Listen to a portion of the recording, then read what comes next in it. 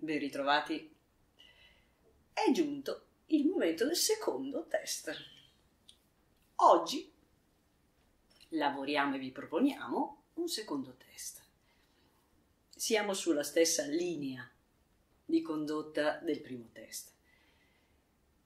Cosa vogliamo fare? Vogliamo mettere alla prova il nostro allenamento del nostro orecchio. In questo tempo, in questi incontri che abbiamo fatto, abbiamo cercato sempre di sviluppare la nostra capacità d'ascolto. E quindi riproviamoci. Sempre un test non ricco di tante domande, poche, alcune già proposte e una nuova, o perlomeno di un video recente. Organizziamo il tutto. Lavoreremo su un brano di Antonio Vivaldi in particolar modo sul Domine Deus, che è una parte tratta dal Gloria di Antonio Vivaldi. È un brano vocale e strumentale.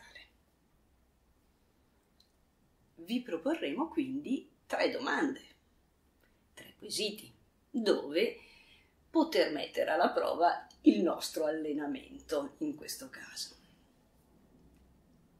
Le domande sono sempre legate ha un aspetto di ehm, confronto, o perlomeno. Vi chiederemo quindi di analizzare il tempo, binario ternario, il modo, maggiore o minore, e l'aspetto nuovo, o perlomeno non ancora proposto nel test, se il canto è monodico o polifonico facciamo un mini ripasso, poi ovviamente vi suggerisco e ve lo suggerirò anche nell'aspetto grafico di questo video eh, di rivedervi magari i precedenti video in relazione a questi argomenti. Però adesso facciamo un brevissimo riepilogo. Binario e ternario, vi ricordo, che indica proprio la scansione o in tre o in due dove avete un tempo forte e uno debole se è binario, uno forte e due deboli se è ternario.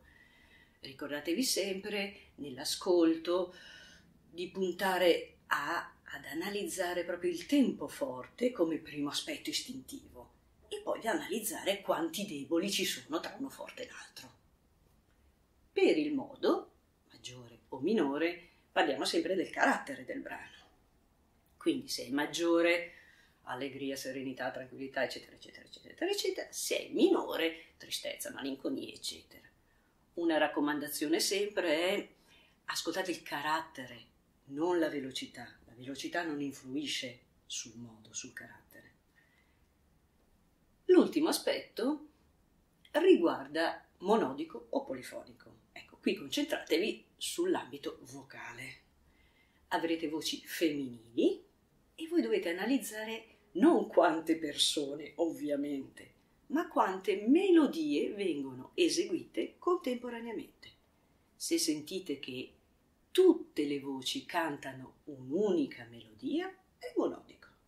Se sentite che vengono sovrapposte da due a più melodie, è polifonico.